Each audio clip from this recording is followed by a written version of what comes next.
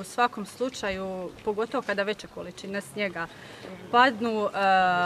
i a pogotovo ako je još hladno, veći su minusi, smrzava se, uvijek imaju prioriteti, naravno ceste koje su za pristup bolnicama ili nekim važnim ustanovama, prve se moraju očistiti, zadnje dolaze u biti ceste u kojima se manje ovaj promet odvija, tako da